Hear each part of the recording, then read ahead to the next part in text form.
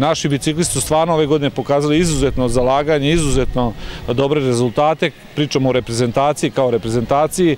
Ovaj, evo, protoklog vikenda smo imali imali ovaj i i ovaj trku kroz Srbiju. Naš Mihajlo Stolić je pobedio jednu etapu, momci su bili iz reprezentacije jako borbeni, jako su se zalagali za odlične rezultate.